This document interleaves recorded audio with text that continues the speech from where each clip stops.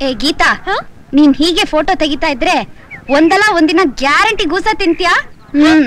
ನನಗ್ ಗೂಸ ಕೊಡೋ ಕೈನ ನಮ್ ಡ್ಯಾಡಿ ಹೇಳಿ ಸೀಸ್ ಮಾಡಿಸ್ಬಿಡ್ತೀನಿ. ಅದಕ್ಕಿಂತ ಮುಂಚೆ ಹಸೆ ಮನೆ ಮೇಲೆ ನಿನ್ನ ಸೀಸ್ ಮಾಡೋ ರೋಮಿಯೋ ಅಲ್ಲಿ ಕೂತಿದ ನೋಡೆ.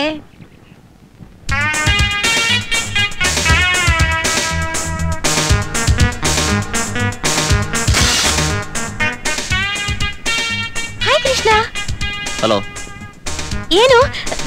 ದೀಪಾಗಿ ಸ್ಟಡಿ ಮಾಡ್ತಿರೋ ಹಾಗಿದೆ ಇನ್ನೇನು? ಮೂರ್ ಹೊತ್ತು ಕೈಯಲ್ಲಿ ಕ್ಯಾಮ್ರಾ ಹಿಡ್ಕೊಂಡು ನಿಂತರ ಬೀದಿ ಬೀದಿ ಸುತ್ತಕ್ಕಾಗತ್ತಾ? ಇದೆಲ್ಲ ಜಸ್ಟ್ ಫಾರ್ ಎಂಟರ್ಟೈನ್ಮೆಂಟ್ ಯಾರ್. ಬನ್ನಿ ಕಾಫಿ ಕುಡಿಯೋಣ. ಐ ಆಮ್ ಸಾರಿ ನಂದಾಗ್ಲೇ ಆಯ್ತು ಕೃಷ್ಣ ಕೃಷ್ಣ ಕ್ಲಾಸ್ ಟೈಮ್ ಇದೆ. ಅಷ್ಟರಲ್ಲಿ ನಾವೆಲ್ಲರೂ ಸೇರಿ ಗ್ರೂಪ್ ಫೋಟೋ ತಗೊಳ್ಳೋಣ? ಫೋಟೋನಾ ಯಾ.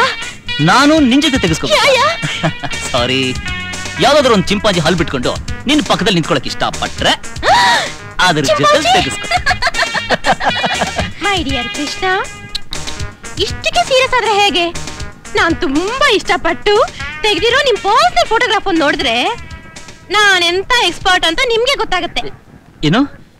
ನನ್ ಪರ್ಸನಲ್ ಫೋಟೋನಾ ಹಾ. ಎಲ್ಲಿ? ಕೊಡು ನೋಡೋಣ.